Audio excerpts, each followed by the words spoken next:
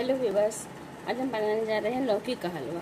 हमने एक लौकी ढाई सौ ग्राम की लगभग लौकी लिया हुआ है और उस लौकी को हमने ग्राइंड करके उसको इस तरीके से हमने उसको कद्दू ये देखिए, लौकी का पानी थोड़ा सा इसमें जल चुका है। अब हम इसमें इस स्टेज पे इसमें हम ये फ्रेश मलाई को ऐड कर देंगे। तो फ्रेश मलाई रखी है। इस मलाई से इसमें एक खोए का काम करेगी और ये इसका टेस्ट इसका बहुत ही अच्छा इससे आता है। ये देखिए, हमने एक कटोरी मलाई इसमें ऐड कर दी। ये देखिए, ये हमारे मलाई जो है, लगभग तैयार होने हो रही है। अब हम इसी स्टेज पे इसमें चीनी को ऐड कर देंगे। चीनी आप अपने टेस्ट के हिसाब से कम मीठी रख सकते हैं।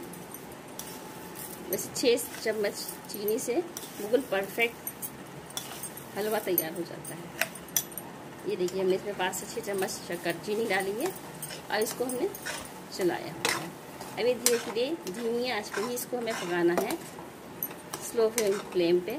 क्योंकि तेज़ फ्लेम से इसमें नीचे से जलने का डर रहेगा, क्योंकि फ्रेश मलाई है और फ्रेश मलाई बहुत जल्दी चिपक जाती है। ये देखिए, इस तरीके से हम इसको अच्छे से भुनने के लिए छोड़ देंगे आप और इसको पका के ये देखिए, ये आपका पानी इसमें शक्कर ने पानी छोड़ दिया है।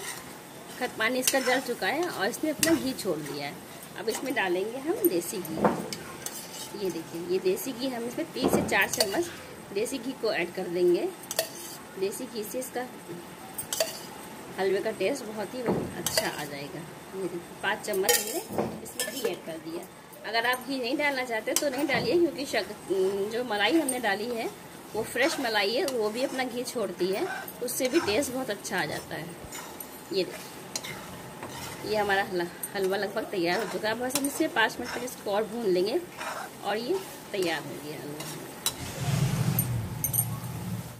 ये देखिए, इसने तेल ही अपना छोड़ दिया है। अभी हलवा हमारा तैयार हो गया परफेक्ट अब हम इसमें थोड़ा सा मेवे को ऐड कर देंगे। अब हमने इसमें काजू इस्तेमाल किए हैं। आप इसमें खोया और भी चीज़ों को आप इसमें ऐड कर सकते हैं। ये देखिए। ये हमने इसमें थोड़ा सा काजू को ऐड कर दिया। अब हम गैस की फ्लेम को बंद कर देंगे और ये हलवा हमारा तैयार हो गया अगर आपको मेरी रेसिपी ये पसंद आई है तो प्लीज़ आप इसे लाइक कीजिए शेयर कीजिए और सब्सक्राइब कीजिए। Thank you